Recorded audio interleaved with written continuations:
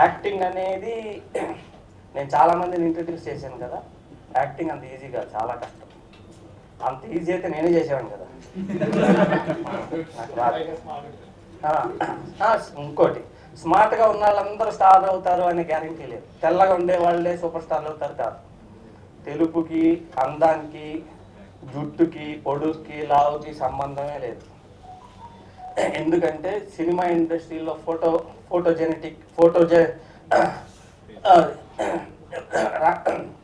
రకరకాల లెక్కలు ఉంటాయి. లెక్క లేదు ఏం లేదు. సినిమాకి లెక్కే లేదు.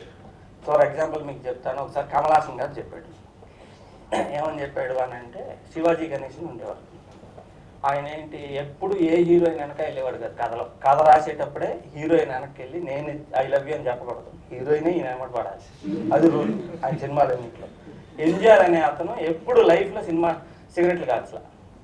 తాగల. సూపర్ స్టార్ సీఎం అయిపోయాడు ఆయన. దేవుడితో లెక్క అనమాట ఎవరన్నా పిల్లలు చూడరా ఎంజాయ్ చూసి నేర్చుకో. ఎందుకు కాలుస్తున్నావు సిగరెట్లు? కాల్చొద్దు తాగొద్దు. చూసావా? సీఎం అయ్యాడు. అట్లా మాట్లాడి. అంత ఎగ్జాంపుల్ సెట్ చేశారు దాని తర్వాత వచ్చారు రజనీకాంత్ కమల్ హాసన్ కమల్ హాసన్ ఫస్ట్ సినిమా నుంచి ఆ హీరోయిన్లు ఎమ్మట పడతామే ఎర్ర గులాబీలు అన్ని.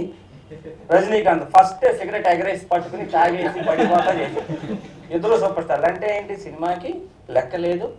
ఇట్టాగే ఉండాలి ఇలా ఉండాలి అలా ఉండకూడదని లెక్కే లేదు. సినిమా ఇలాగే ఉండాలి అనే రూల్ లేదు. ఎందుకంటే రూల్ ఎవడు పెడతాడు? నేను ఆల్రెడీ చిత్రం జయం తీశాను అనుకో. ఇట్ట తీస్తేనే హిట్ అవుద్ది అనుకుని తీస్తా ఉంటే ఏమవుద్ది? లవ్ స్టోరీలు తీసిందే తీసాడని జనానికి విరక్తి వచ్చేసింది నా మీద. అట్లా. సో స్టాండర్డ్ లేదు సినిమా.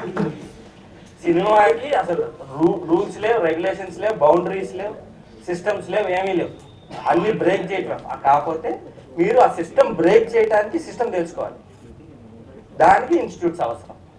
ఇన్స్టిట్యూట్స్ అవసరం ఎక్స్పీరియన్స్ అవసరం అవసరం అన్నీ అవసరం. ఎక్స్పీరియన్స్ లేకుండా ఎగ్- ఇప్పుడు మీకు అసలు ఈ ఫిల్మ్ ఇన్స్టిట్యూట్ లేదనుకోండి మీరు లొకేషన్కి వచ్చారు. నేను కెమెరా పెట్టి ఏది? రైట్ లుక్ ఫీల్ చేయి. అన్నామంటే మీకు అసలు అర్థం కాదు ఏం చేస్తున్నాం? కన్ఫ్యూజ్ అయిపోతారు. ఎందుకంటే రెండు వందల మంది మిమ్మల్ని ఇట్లా చూస్తుంటారు. సో టెన్షన్ వచ్చేస్తుంది. ఇక్కడ చేసుకుని వచ్చారనుకోండి మీకు చిన్న ఫౌండేషన్ ఉంటుంది. ఈజీ అవుతుంది.